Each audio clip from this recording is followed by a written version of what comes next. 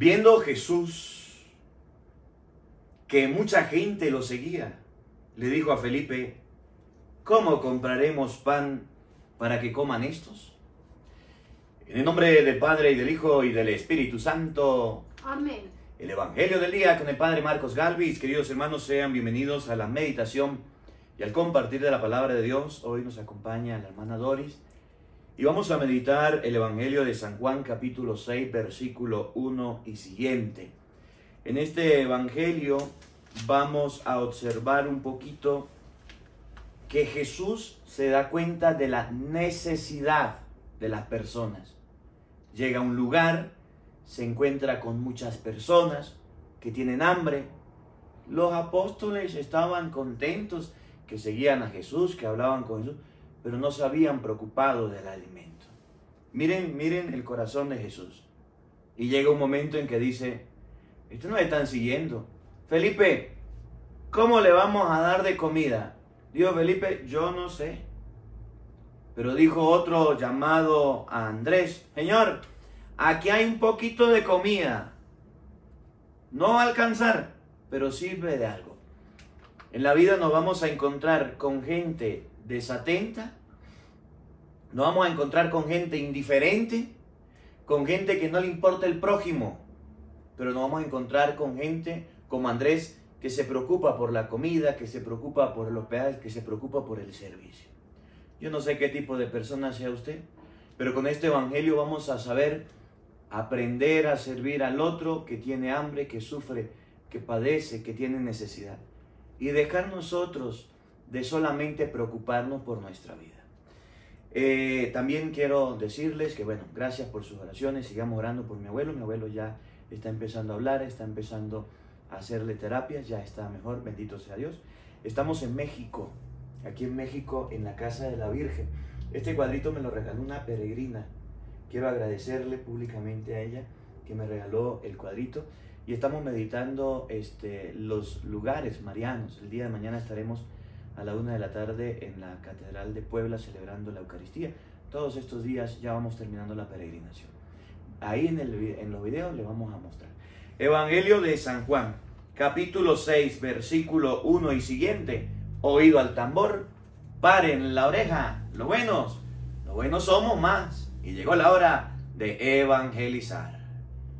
Lectura del libro de los Hechos de los Apóstoles. En aquellos días, un fariseo llamado Gamaliel, doctor de la ley y respetado por todo el pueblo, se levantó en el Sanedrín. Mandó que hicieran salir por un momento a los apóstoles y dijo a la asamblea, Israelitas, piensen bien lo que van a hacer con esos hombres no hace mucho surgió un tal Teudas que pretendía ser un caudillo y reunió unos 400 hombres. Fue ejecutado, dispersaron a sus cauces y todo quedó en nada. Más tarde, en la época del censo, se levantó Judas el Galileo y muchos lo siguieron.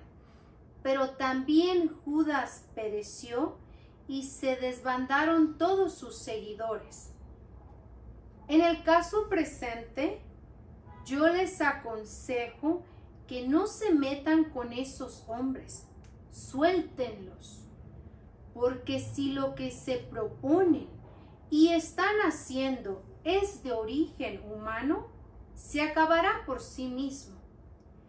Pero si es cosa de Dios, no podrán ustedes deshacerlo. No se expongan a luchar contra Dios. Los demás siguieron su consejo.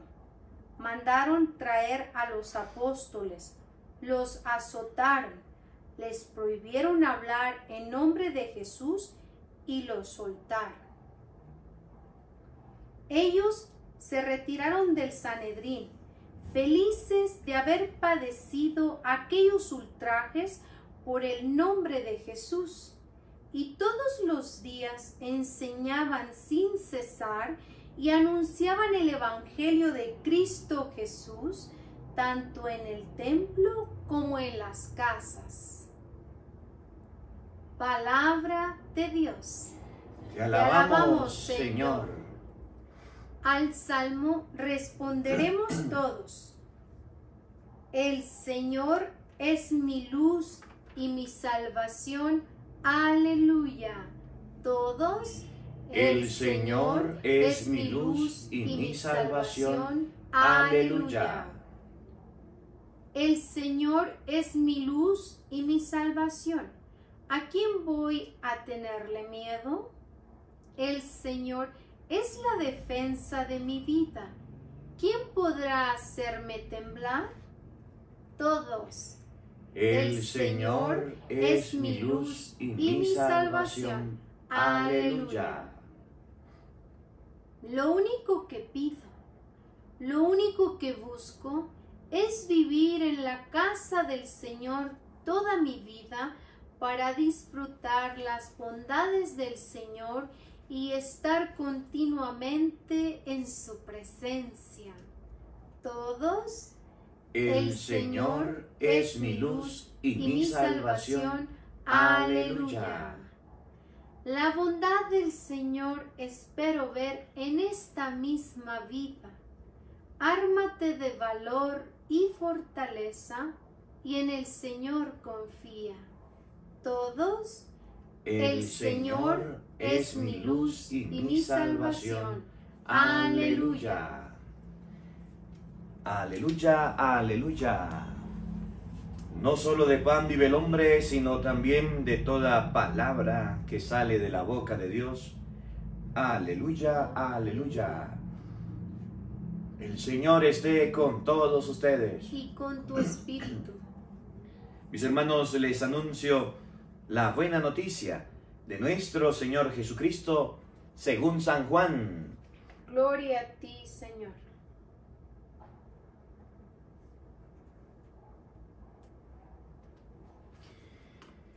En aquel tiempo Jesús se fue a la otra orilla del mar de Galilea o lago de Tiberíades. Lo seguía mucha gente, porque habían visto los signos que, que hacía curando a los enfermos. Jesús subió al monte y se sentó allí con sus discípulos. Estaba cerca la Pascua, festividad de los judíos. Viendo Jesús que mucha gente lo seguía, le dijo a Felipe, ¿cómo compraremos pan para que coman estos? Le hizo esta pregunta para ponerlo a prueba, pues él bien sabía lo que iba a hacer. Felipe le respondió, ni doscientos denarios de pan bastarían para que cada uno le tocara un pedazo de pan. Otro de sus discípulos, Andrés, el hermano de Simón Pedro, le dijo, aquí hay un muchacho que trae cinco panes de cebada y dos pescados. Pero, ¿qué es eso para tanta gente? Jesús le respondió, díganle a la gente que se siente. En aquel lugar había mucha hierba. Todos pues se sentaron ahí y tan solo los hombres eran unos cinco mil. Seguida tomó Jesús los panes y después de dar gracias a Dios, se lo fue repartiendo a los que se habían sentado a comer. Igualmente le fue dando de los pescados todo lo que quisieron. Después de que todos se saciaron, dijo a sus discípulos, recojan los pedazos sobrantes, para que no se desperdicie. Lo recogieron y con los pedazos que sobraron de los cinco panes llenaron doce canastos. Entonces la gente al ver el signo que Jesús había hecho decía, este es en verdad el profeta que habría de venir al mundo. Pero Jesús sabiendo que iban a llevárselo para proclamarlo rey, se retiró de nuevo a la montaña, él solo.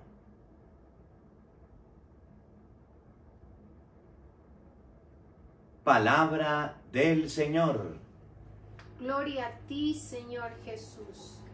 Queridos hermanos, invoquemos la presencia del Espíritu Santo sobre nuestra vida, pidiéndole a Él que nos acompañe, que nos ilumine. Digan todos después de mí, ven Espíritu Santo. Ven Espíritu Santo. Llena nuestros corazones. Llena nuestros corazones. De tu luz. De tu luz. De tu sabiduría. De tu sabiduría. Para interpretar tu palabra. Para interpretar tu palabra. No como palabra humana. No como palabra humana.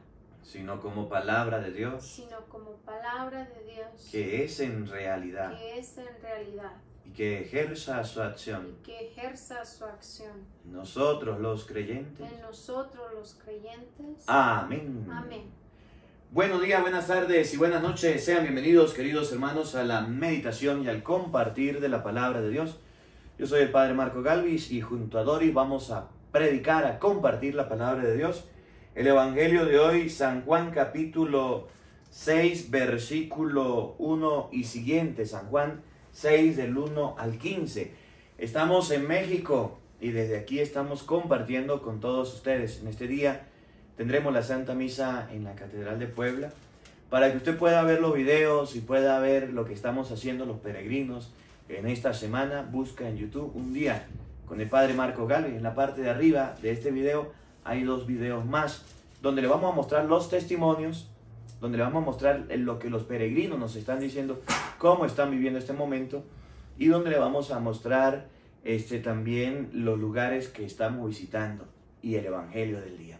De manera de que ustedes y yo, cuando tengamos la oportunidad de ir a peregrinar, lo podamos hacer con mucho cariño. Gracias a todos los mexicanos que me he encontrado de buena voluntad, a los que hemos saludado en el camino, Dori, el Padre Marcos, nos hemos encontrado con muchas personas. Bueno, le decía una, una, una persona de México, me regaló este cuadrito de la Virgen que llevo con mucho cariño. No puedo llevar mucha maleta, pero este me lo voy a llevar con mucho cariño. La imagen de la Virgen de Guadalupe. Hemos visitado esos lugares. Bueno, si usted quiere visitar con nosotros, bueno, a comuníquese con Doris, dígale Doris, ¿cómo hacemos para ir a peregrinar, a conocer los lugares santos, los lugares marianos, si Dios quiere? Vamos a meditar pues el Evangelio de San Juan, capítulo 6, versículo 1 y siguiente, el discurso del pan de vida, el capítulo 6 completo. Gracias también a los que están orando por mi abuelito. Gracias por su gesto de cariño. Mi abuelo se está recuperando.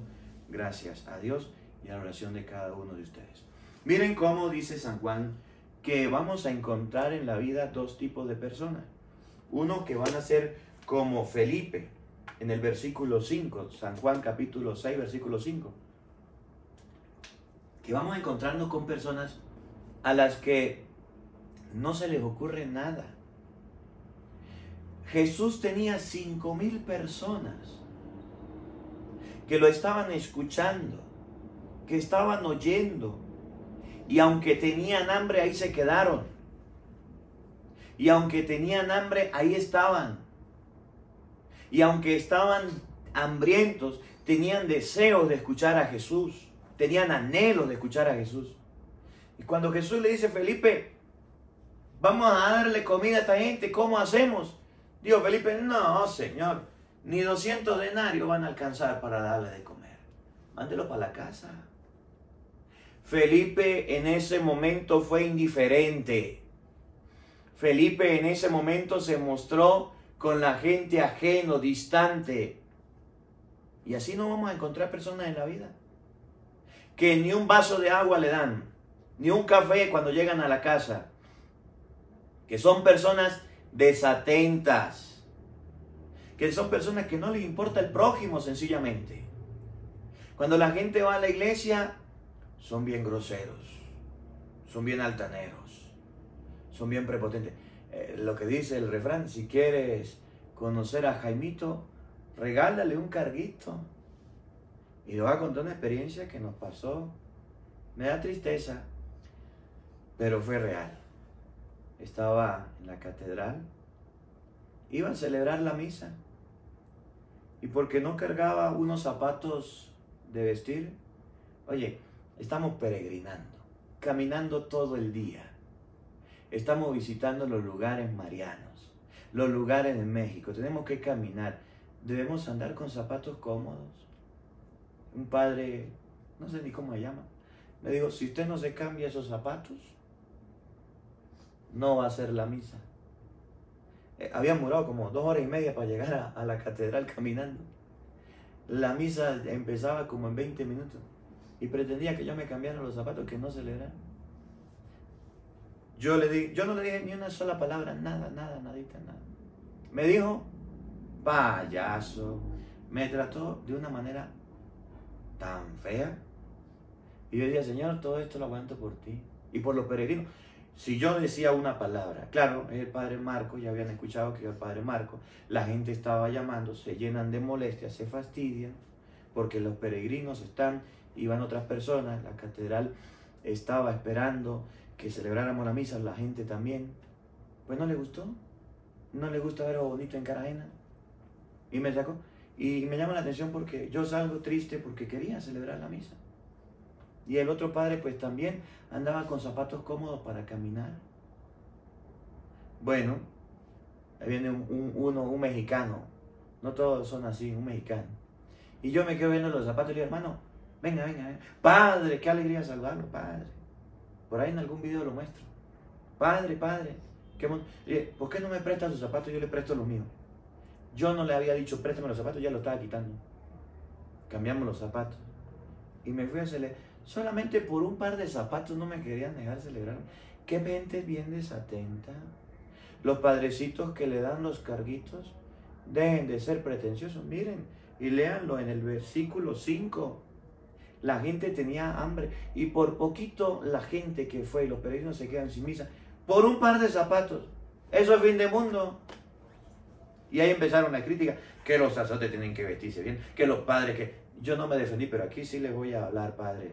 Y yo sé que va a escuchar el Evangelio, porque por supuesto va a escuchar la respuesta mía y no la escuchó. Y si alguna persona le hace llegar allá el, el, el, el Massimito, el Massimito de la catedral, el padre, no sé cómo que, que le dicen, el rector, yo no sé cómo que le dicen.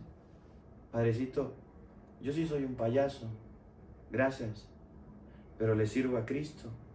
Y a un payaso y mal vestido y, y, y campesino y de campo, he llevado la palabra de Dios por todo el mundo. Y llevamos gente para la catedral y usted estuvo a punto de rechazarnos. Y miren que es el Evangelio. Yo no lo estoy cambiando, es el Evangelio de hoy. Eso sucedió ayer y hoy le estoy predicando el Evangelio. Me da tristeza. Fuimos igual a la basílica y los que están encargados, en vez de ser amables, cordiales, alegres, nos trataron feo. Eso es triste. No le dejaron leer la Biblia. Ni la Biblia nos la dejaron pasar.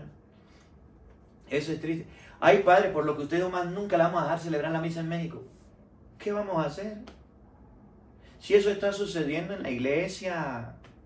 Tenemos sacerdotes como Felipe, que con la gente la trata la patada, la tratan mal, son déspotas, groseros, son esos que parecen que están en la iglesia, que es una alcabala, bien emperifollados, bien pulidos, bien peinados. Por eso es que a mí no me gusta andar bien vestido, por eso es que a mí no me gusta, porque cuando uno se viste bien parece que se le suben los zumos a la cabeza, porque tienen un cargo, porque tienen un puesto. Jesús le pregunta a la gente, tiene hambre y no les da de comer.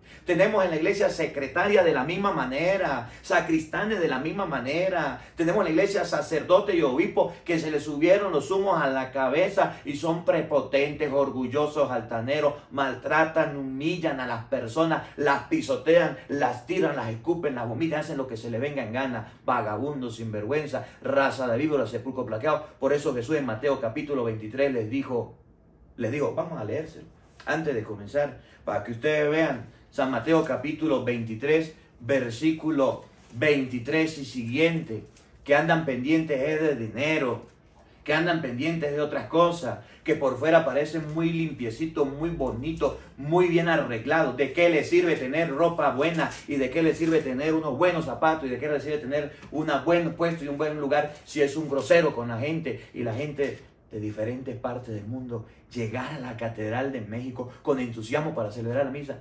Por un par de zapatos no le iban a dar de comer. No le iban a dar la palabra de Dios. Eso da vergüenza. Léalo. 23, 23. ¿Qué importa? ¿Qué es lo más importante? Escuchen. Hay de vosotros, escribas y fariseos hipócritas. A esos que le dan cargos y responsabilidades como Felipe, que tienen la gente, dice, a mí no me importa, ¿qué le vamos a dar de comer? ¿Qué, qué son 200 donarios para la gente? No, Jesús le preguntó, ¿qué podemos hacer por ellos? No les importó. Hipócritas. Que pagáis el diezmo de la menta del aneto y del comino. Con tal la plata, eso sí, eso sí es lo más importante.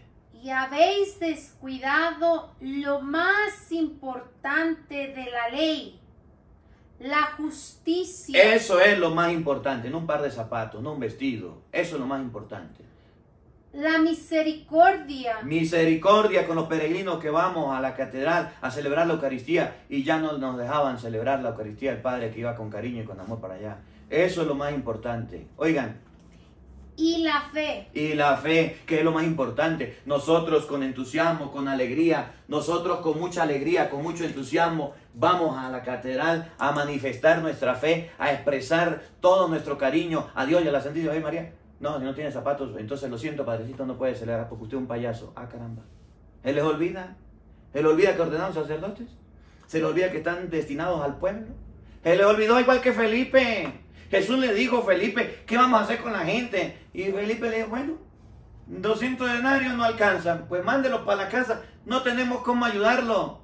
Necesitamos sacerdotes y obispos como Andrés, que dijo, aquí hay un poquito de comida, esto le sirve, te lo vamos a leer, sigue, escuchen.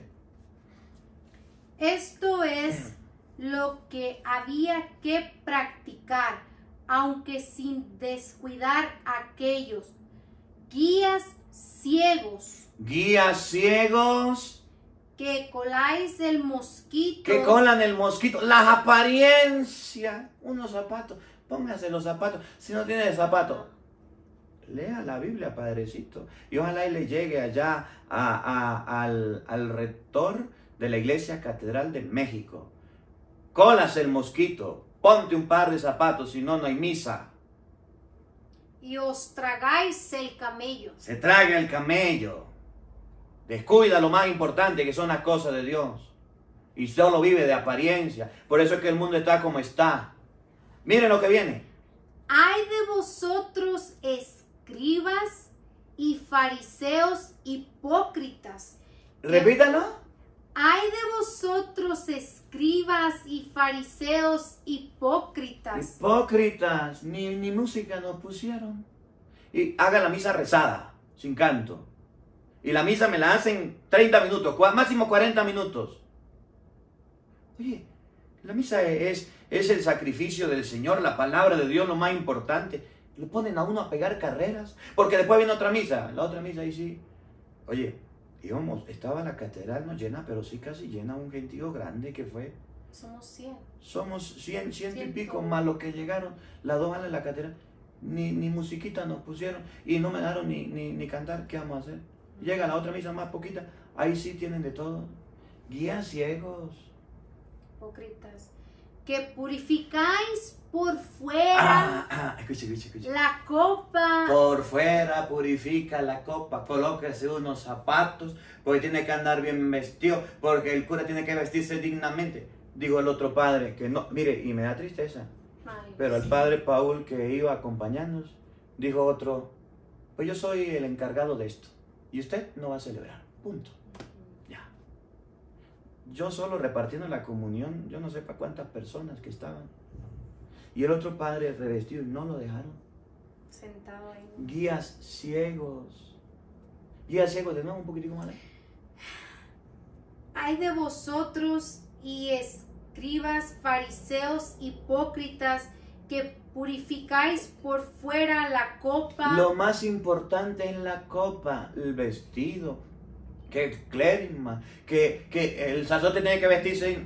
¿Cuándo? Si ustedes cuando nacieron vivían allá en un rancho. ¿Cuándo? Si ustedes cuando nacieron no vivían en cuna de oro. ¿Cuándo? Si cuando ustedes nacieron vivían y hasta descalzo andaban. Y se les olvida la humildad y la sencillez. Y ahora lo más importante porque tienen un cargo. Fariseo hipócrita, guía ciego. Y eso está mal. Y el pueblo decía, Padre, perdónenos, discúlpenos. Yo no tengo nada contra los mexicanos, contra el pueblo de México que me recibió con los brazos abiertos. Pero los que tienen cargo, los que tienen responsabilidades, los que tienen, ya háganle llegar el video al Padre y que no me dejen celebrar más la misa. ¿Y cuál es el problema? Pues celebro mi parroquia.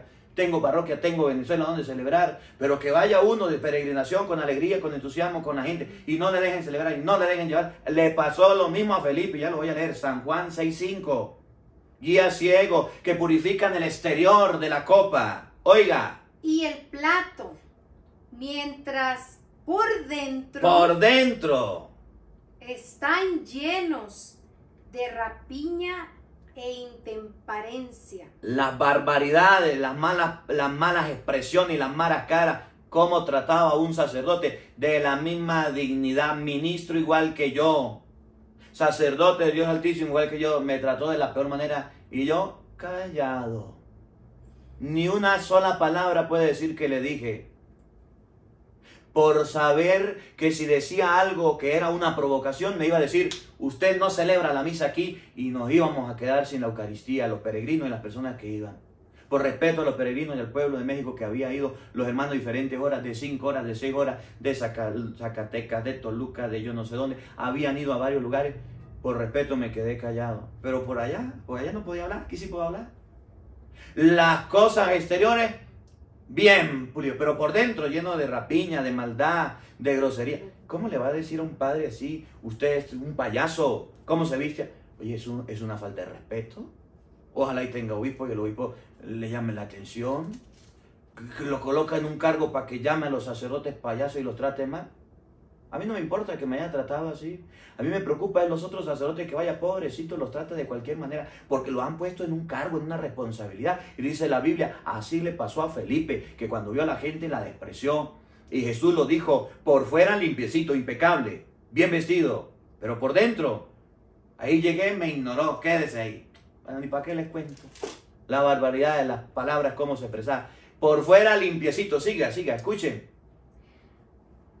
Por dentro están llenos de rapiña, de maldad. Fariseo ciego.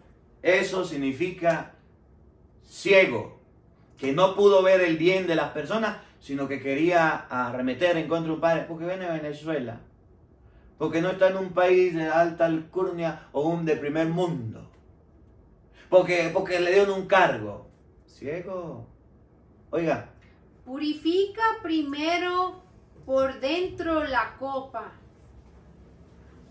¿Y después? Para que también por fuera quede pura. Entonces lo más importante no es el exterior, es el interior. Miren lo que viene. Hay de vosotros, escribas y fariseos hipócritas. Ay, padrecito de, de la Catedral de México. Con usted pues sois semejantes a sepulcros blanqueados. Lea la palabra de Dios, eres un sepulcro blanqueado. ¿Y cómo, cómo es el sepulcro blanqueado? Que por fuera. Que por fuera. Parecen hermosos. ¡Ay, tan lindo! El, el yo no sé qué encargado de aquí de la iglesia. El fulano, el sultano, el mere, me dan un título de aquí hacer lo que a mí me dé la gana, lo que a mí me, a mí me parece, punto, ya. Por fuera, ah, limpio, sepulcro blanqueado. Pero su corazón, tratar mal a un sacerdote de la misma dignidad que usted, ordenado, estudiado igual que usted, ministro de Dios igual que usted. Oiga. Pero por dentro. ¿Qué tienes por dentro? Están llenos de huesos de muertos y de toda inmundicia. Oraré por ti, Padre, para que Dios te bendiga y te ayude a ser humilde. Y en ese cargo que estás, ayude a servir al pueblo. Me da tristeza. Miren cómo dice San Juan 6.5. Porque no solamente los sacerdotes, me lo hicieron a mí. Imagínense, una señora me decía, padre, a nosotros los laicos nos tratan igual. Y peor todavía, y la señora lloraba y decía, padre, discúlpenos. Nosotros los mexicanos somos así. Yo, no, ustedes no. Hay unos padres que le dan cargo que se comportan así, que están al frente de los lugares, que están al frente, que están puestos para el servicio. Y agarran al pueblo, lo corren, lo patanean. Secretarias, sacristanes, ministros, personas encargadas. Miren lo que dice el versículo 5 de San Juan. Es el Evangelio de hoy. San Juan 6.5. Oiga. Al levantarse Jesús, al levantar Jesús los ojos y ver que venía hacia él tanta gente. Eran cinco mil personas, cinco mil personas, cinco mil, muchísima gente. Así como pasa en los lugares marianos, así como pasa en los templos, así como pasa en la iglesia, mucha gente va con sed de Dios. Mucha gente, mucha gente.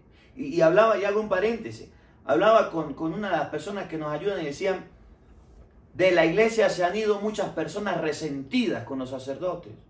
Se han ido muchas personas resentidas con los ministros. Se han ido personas heridas y lastimadas. Y se han ido a los protestantes porque los tratan bien. Y a mí me daba pena. Y yo agachaba la cabeza. Y yo decía, tiene razón. Porque de la iglesia van muchas personas y nosotros, los ministros, los corremos, los expulsamos, los tratamos mal, y la secretaria, y los sacristanes, y los monaguillos, y somos unos patanes dentro de la iglesia. Somos personas déspotas. Cuando Jesús vio a la gente, sintió compasión de ellos y quería alimentarlos, quería servirle, quería dormir, no dormía, quería comer y no comía. Estaba al servicio de las personas. Tenía un corazón de pastor tenía un corazón amable, cercano, y llega y le pregunta a Felipe, y así como Felipe, muchos sacerdotes y sacristanes y secretarias dentro de la iglesia y personas que son encargados, oigan. Preguntó a Felipe, ¿dónde nos procuraremos panes para que coman estos? Jesús vio la necesidad del pueblo y la necesidad del pueblo era que tenía hambre. El pueblo tenía hambre y tenía necesidad de comer.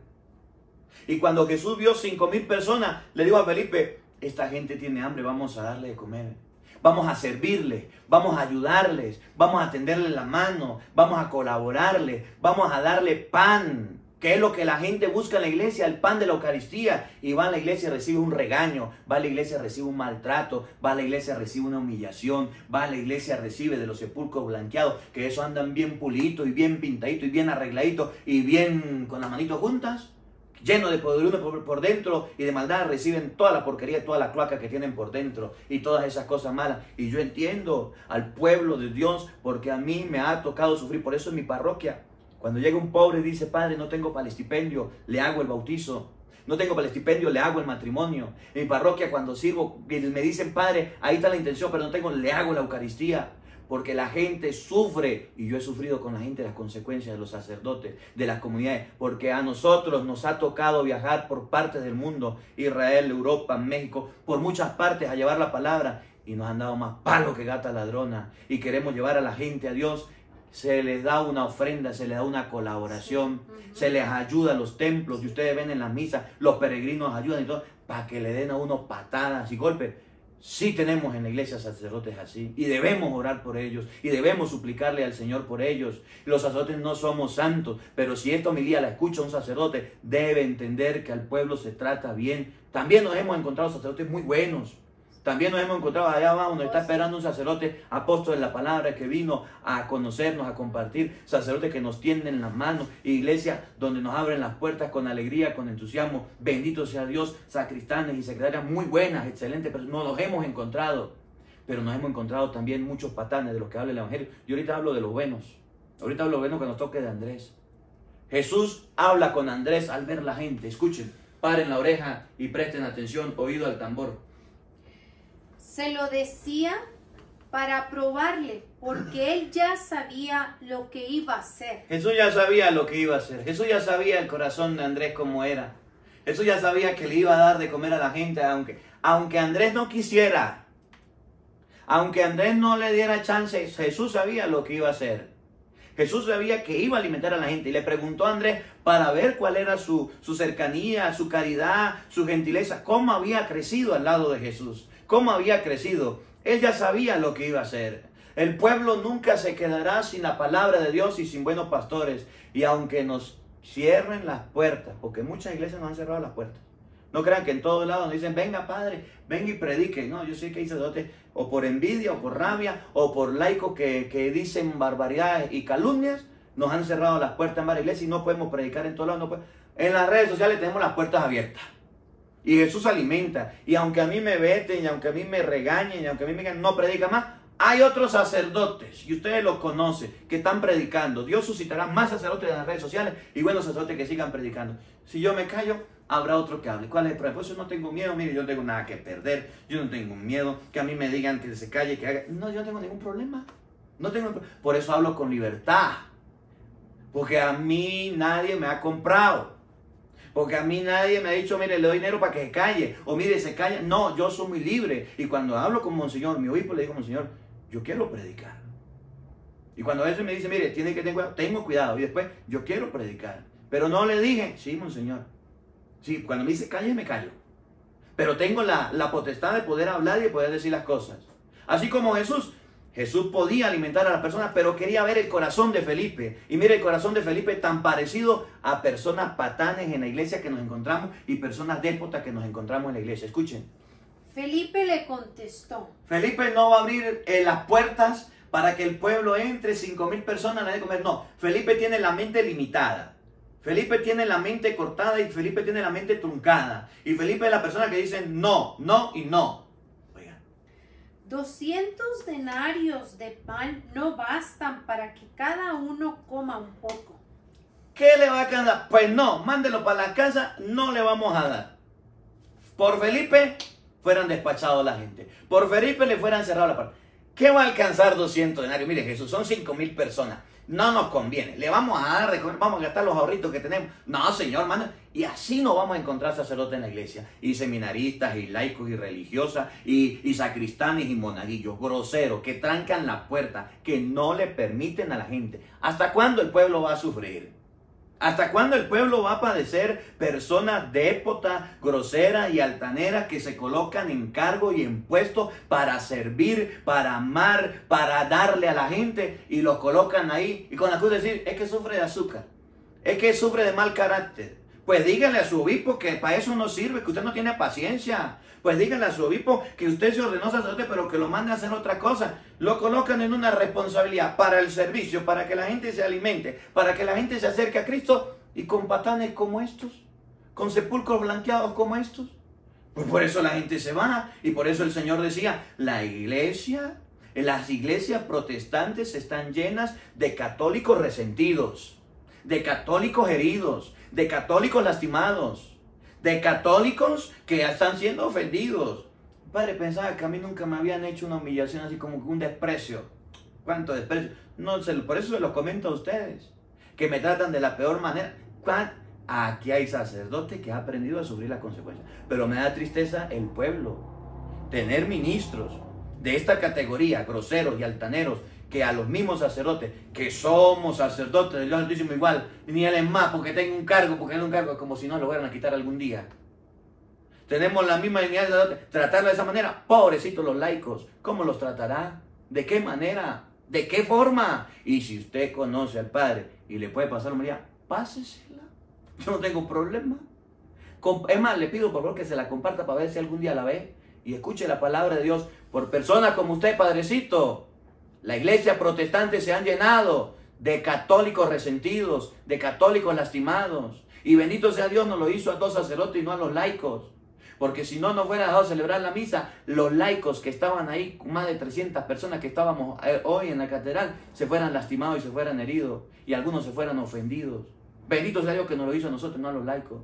Pero me da tristeza y yo quiero aprovechar la ocasión, pedirle perdón a ustedes por las actitudes de nosotros groseras como sacerdotes. Pedirles perdón. No pongan la mirada en un sacerdote, porque así se van a comportar. Levíticos 21.8 dice, al sacerdote lo tendrás por santo y hay que respetarlo. Sí. aunque sea un sepulcro blanqueado, aunque se comporte como una raza de víbora, hay que respetarlo. Yo tengo la oportunidad de decírselo por las redes sociales y tengo que hacerlo porque no puedo callarme. Vamos a respetar a los sacerdotes, pero escuchen bien, vamos a orar por esos sacerdotes, porque se les suben los humos como a Felipe. No, eso no alcanza. 200 denarios, manda a esa gente para la casa. ¿Para qué lo vamos a atender? Y no solamente sacerdotes, las secretarias también. Bien groseras, amargadas. Parece que el esposo no les da cariño, no las abraza, llegan a la iglesia todas amargadas y groseras. ¿Para qué se mete a trabajar de secretario en la iglesia?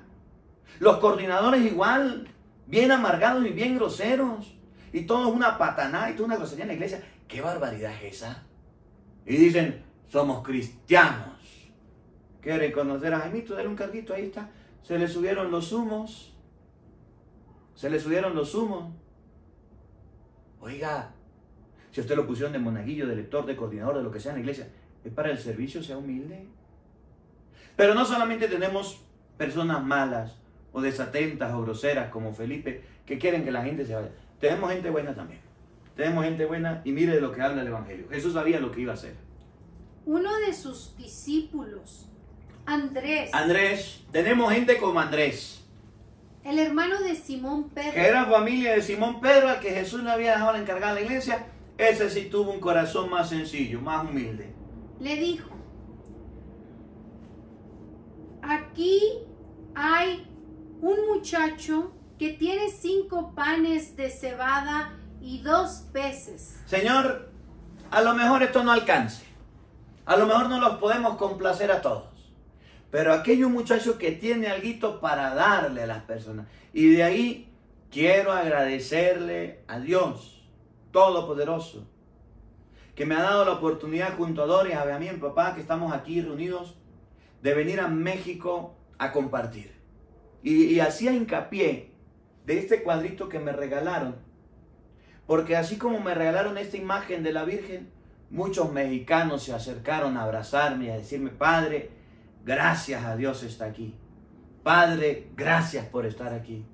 Vinieron a darme un abrazo, a tomarse una foto, a darme una ofrenda, a darme un caramelo, a, a- a brindarme el cariño. Bendito sea Dios por esos mexicanos. Y por esas personas que en diferentes partes del mundo me las he encontrado, que han abierto las puertas de su casa, que me han ofrecido alimento, que me han ofrecido hospedaje, que me han ofrecido para el servicio y a todos nosotros nos han ofrecido una ayuda y nos ha tendido la mano. Gracias. Y en la iglesia debemos tener las puertas abiertas como Felipe para que la gente tenga la oportunidad de comer, de recibir la palabra, de recibir buenos tratos, de recibir amablemente. Y quiero felicitar a las secretarias que son atentas, a las secretarias que son humildes y sencillas y tratan de servirles a todos. Y quiero felicitar a los coordinadores del movimiento de apostolado que sirven a la iglesia y trabajan incansablemente porque el pueblo de Dios se alimente de la palabra de Dios.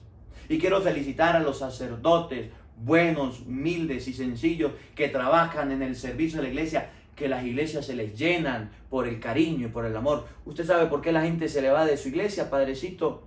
Porque usted es desatento. Pero cuando hay un padre, un padre cercano, amable, que se preocupa, la iglesia se llena, el pueblo busca a Dios a través de ese ministro que le brinda la oportunidad de compartir la palabra de Dios y va a la iglesia a llenarse de la palabra, a llenarse del cariño, a llenarse del amor que le pueda servir el sacerdote. Porque nosotros, aunque no seamos santos, dice la Biblia, deben tenerlo por santo porque somos los que partimos el pan de Dios en la mesa y no para sentirnos orgullosos y prepotentes, sino para que el pueblo se sienta atraído. Somos los canales que llevamos a las personas, somos los puentes que llevamos a las personas hacia Dios y debemos ser buenos, tranquilos, debemos ser amables con las personas. Y yo sé que aquí hay mucha gente buena, que lee en su iglesia con cariño, que canta en su iglesia con amor, que en su iglesia participan en movimientos de apostolado, son catequistas, trabajan para la iglesia y lo hacen con cariño. Me decía un peregrino,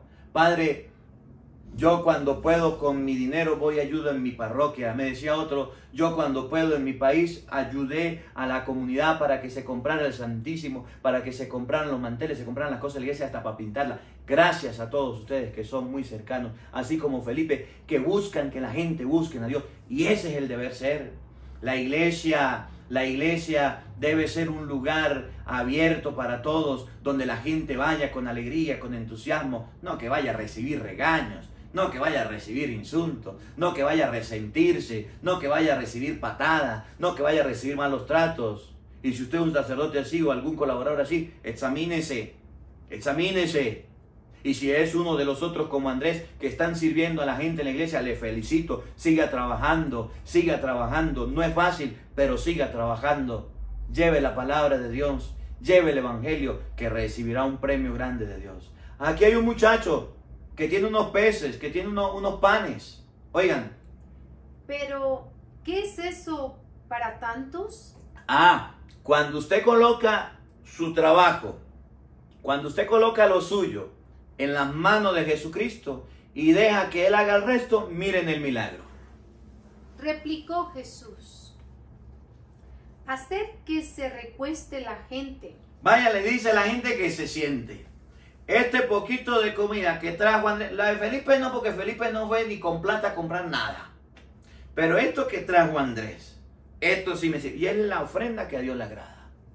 Es lo que Dios mira. Es lo que Dios quiere. Dios quiere sacerdotes como Andrés, que estén dispuestos a servirle al pueblo.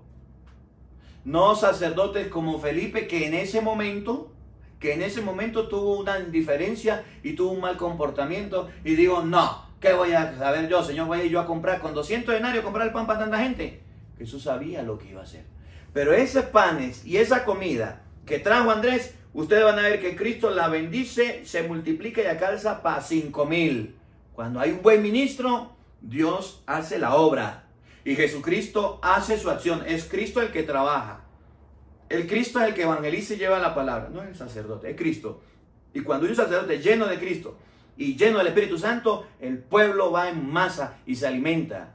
Pero cuando hay uno que, ah, pecado, lleno de puras leyes, normas y títulos y, y, bueno, eso de que se le subieron los humos, pobrecito, me da tristeza. Lloremos por ese padre. Siéntese la gente. Oiga, había en el lugar mucha hierba. La gente se recostó. Eran unos cinco mil. ¿Cuánto eran? Unos cinco mil. Felipe quería mandarlo para la casa. Andrés dijo, Señor, aquí hay algo, esto no alcanza, pero aquí hay algo, este muchacho lo trae. Y Jesús dijo, con eso que usted va a colocar, con eso que usted trajo, con ese muchacho, eso va a alcanzar. Eso va a alcanzar. Oigan. Tomó entonces Jesús los panes y después de dar gracias, los repartió entre los que estaban recostados y lo mismo con los peces. Eh, busquemos un momentico lo que dice San Lucas capítulo 22 versículo 19. Jesús agarró los panes, los repartió. Estamos hablando de San Juan capítulo 6, que es el discurso de pan de vida. Jesucristo quiere darle de comer a las personas. Y es lo mismo que hizo en San Lucas capítulo 22, versículo 19 en la última cena. Y ustedes van a ver que Jesús agarra pan, lo parte, lo bendice, lo parte y lo da para que la gente coma. La Eucaristía es el centro de la vida cristiana y la gente va a la misa a recibir la Eucaristía. Pero nosotros los sacerdotes corremos a la gente de la iglesia y ni siquiera le damos la Eucaristía, sino que le damos es un regaño. Le damos es problemas, rabias a la gente. Jesús agarró pan, le agarró, le dijo, siéntese, agarró pan, lo bendijo. Lo mismo que hizo el, el día de la última cena, escuchen. Tomó luego pan, dio gracias, lo partió y se lo dio diciendo. Es lo mismo que hizo Jesús cuando estaba multiplicando los panes. Es la Eucaristía, es un reflejo de la Eucaristía. ¿Qué le dijo? Este es mi cuerpo que se entrega por vosotros. Hacer esto en recuerdo mío. Es la Eucaristía la que hacen los sacerdotes que se le debe dar al pueblo. Volvamos donde íbamos. Jesucristo agarró pan, lo bendijo, se lo dio a sus apóstoles y le dijo a la gente, siéntense Y los mismos apóstoles son los que van a repartir la comida, van a repartir los panes, van a repartir los peces, porque es nuestro trabajo. Jesús mandó a Felipe y a sus apóstoles, estaban cansados, estaban fatigados, pero estaban al servicio. Y Jesús nos llamó a la gente, mire, ustedes van a repartir. Son los ministros que debemos darle el pan consagrado al pueblo. Por eso el sacerdote debemos tenerlo por santo, porque es el que ofrece el pan del altar, el pan de tu Dios. Oigan. Comieron todo lo que quisieron. Cuando se saciaron, dijo a sus discípulos, recoged los trozos sobrantes para que nada se pierda. En la Eucaristía, ustedes pueden ver en la Santa Misa, hay un altar y en el altar se coloca un corporal y encima del corporal el pan, el vino, se consagra el cuerpo y la sangre de Cristo y el sacerdote con un purificador cuida de que nada se pierda. Esa es la representación de la Eucaristía. Por eso en la Santa Misa hay tanto respeto y es el sacerdote el que debe purificar y el que debe hacer las cosas en la Eucaristía. No el laico, es el sacerdote o es el acólito o es el diácono consagrado para eso. Jesús no quería que nada se perdiera porque era pan bendito porque era pan bendito y no se podía perder. Pero el encargado de darle de comer eran los apóstoles. Uno de buena gana, como Andrés. Otro de mala gana, como Felipe. Pero esos son los que Jesús escogió. No podemos hacer nada. Por eso usted no se resienta. Por eso usted no se lastime. Por eso usted no se preocupe. Porque hayan sacerdotes groseros, indiferentes. Así vamos a tener. No había un traidor con Jesús. No estaba un tal Judas ahí. Claro, así lo van a ver. Oigan lo que viene. Los recogieron pues y llenaron doce canastos con los trozos de los cinco panes de cebada que sobraron a los que habían comido. Sobró comida y siempre habrá comida que sobre en la Eucaristía, siempre en el sagrario habrá reserva. Siempre habrá reserva, Eucaristía guardada para que el pueblo, para que un enfermo, para que alguien vaya a recibir la comunión en un caso de emergencia. Siempre habrá pan consagrado en la iglesia y por eso hay una lucecita prendida en la iglesia y ahí está el sagrario donde nosotros debemos llegar y arrodillarnos porque ahí está la presencia de Jesucristo. Lo que quedó lo recogieron y eso pasa en la Eucaristía. Miren lo que viene, ya para terminar. Al ver la gente el signo que había realizado, Jesús realizó un signo, la gente se dio cuenta. Comentaba. Comentaba. Este es verdaderamente el profeta que iba a venir al mundo. Naguara, Jesús es el profeta. A Jesús vamos a premiarlo, vamos a acordar. Y es lo mismo, y, miren el ejemplo de Jesús, y es un ejemplo para nosotros los sacerdotes.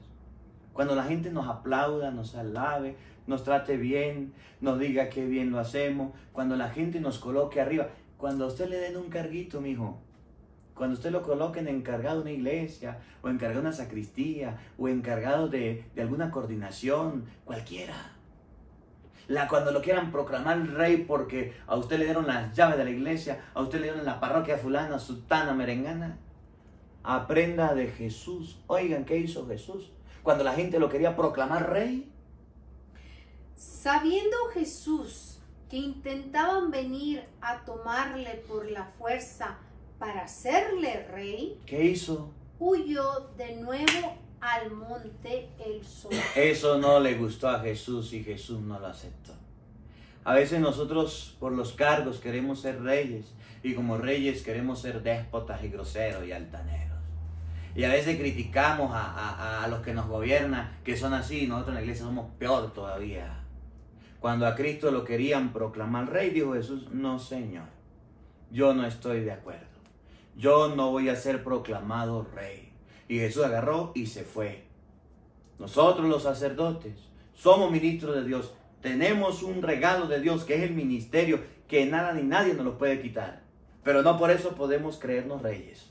No por eso queremos, podemos pisotear a las personas o podemos tratar mal a las personas. Porque a Dios le vamos a entregar cuentas.